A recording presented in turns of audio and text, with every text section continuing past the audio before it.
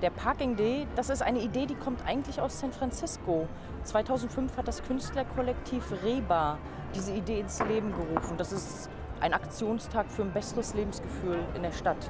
Und das machen auch andere Städte, seit 2007 auch in Deutschland, München, Berlin und Leipzig.